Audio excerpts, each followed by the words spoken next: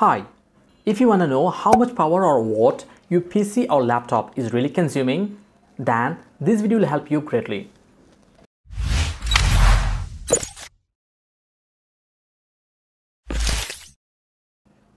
So, we firstly need a third-party software here. On Google Chrome, search for local cooling.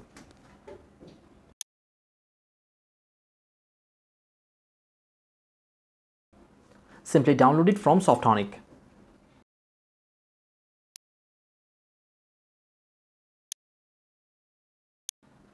And install it. It's too simple.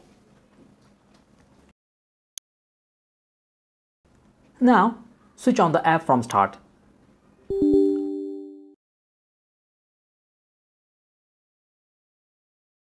When it appears, click on settings. Go to my power.